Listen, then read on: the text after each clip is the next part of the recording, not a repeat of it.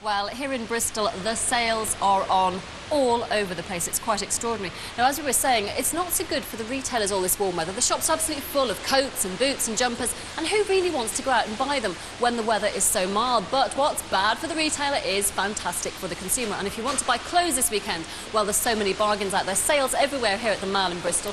50% off. I've seen signs for 70% off. There's another one over there. Huge bargains to be had. And really, it's about time people did start spending some cash because recent figures from some of the stores have actually been quite depressing. Matalan, for example, 4% down on last year. Monsoon, 6% down. And analysts say that stores including Debenhams, Marks & Spencer, Next and New Look are all having a much tougher time than they expected. Now, could it all be partly to do with the colour of the season? The colour is obviously grey. Grey is the new black, darling. You think I'm looking a little bit grey this morning? It is extremely fashionable. But is everybody ready to spend the winter shrouded in grey? I can tell you they're not. And some analysts are actually saying that some of the shops could be in big trouble because most of their collections are grey this winter. So I came out into the mall here yesterday to talk to some shoppers to see if they're ready for winter and ready for grey. And this is what I found out. Everywhere